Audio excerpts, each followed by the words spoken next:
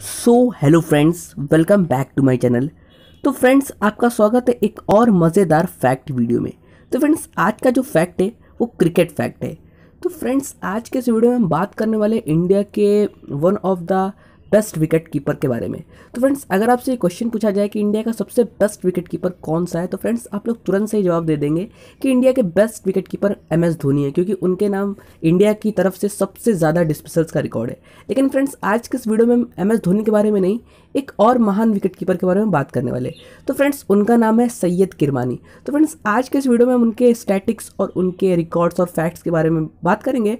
तो फ्रेंड्स चलिए बिना किसी तरीके वीडियो स्टार्ट करते हैं। तो फ्रेंड्स अगर वीडियो स्टार्ट करने से पहले अगर आप चैनल पर नए हैं तो चैनल को सब्सक्राइब ज़रूर कर दीजिएगा और नोटिफिकेशन बिल को ऑल पर सेट कर दीजिएगा, क्योंकि फ्रेंड्स आपको डेली ऐसे वीडियोस हमारे चैनल पर मिलते रहते तो चलिए फ्रेंड्स बिना किसी तरीके वीडियो स्टार्ट करते हैं। तो फ्रेंड्स सैयद किरमानी का जन्म 29 दिसंबर 1949 को चेन्नई में हुआ था। फ्रेंड्स, उन्होंने क्रिकेट में अपनी कंट्री को 1976 से 1986 तक रिप्रेजेंट किया था। तो फ्रेंड्स, अब हम बात करते हैं कि उन्होंने कब अपना टेस्ट और ओडीआई डेब्यूट किया था। तो फ्रेंड्स, इसमें उनके साथ एक गज़ब का संयोग है। फ्रेंड्स, इन्होंने जिस टीम के खिलाफ टेस्ट में डेब्यू किया था, उसी टीम के खिलाफ ओडीआई में भी डेब्यू किया है। और उन्होंने जिस टीम के खिलाफ आखिरी टेस्ट मैच खेला था, उसी टीम के खिलाफ आखिरी टेस्ट मैच भी खेला है। तो फ्रेंड्स, उन्होंने अपना टेस्ट डेब्यू 24 जनवरी 1976 को न्यूजीलैंड के खिलाफ किया था और अपना ओडीआई डेब्यू भी 21 फरवरी 1976 को न्यूजीलैंड के खिलाफ ही अपने ओडीआई करियर का आगाज़ किया था।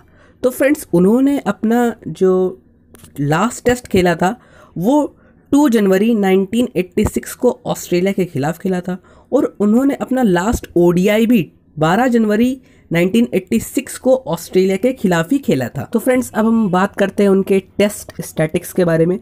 तो फ्रेंड्स, उन्होंने अपने टेस्ट करियर में 88 मैचेस खेले हैं, जिसमें उन्होंने 2759 रन स्कोर किए हैं और उन्होंने कुल टू हंड्रेड्स और 12 हाफ़ सेंचुरी स्कोर करी है।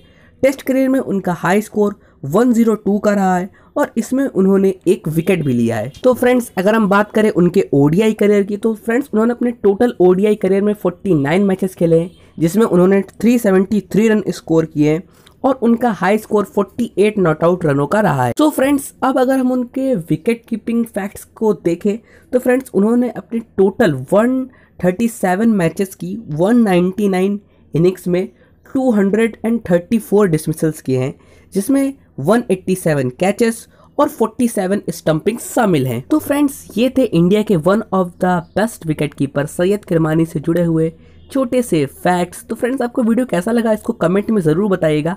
और अगर आपको वीडियो अच्छा लगे तो वीडियो को कर दीजिएगा लाइक और अपने दोस्तों में शेयर ज़रूर कर दीजिएगा। तो फ्रेंड्स मिलते हैं अनदर इंटरेस्टिंग फैक्ट वीडियो में।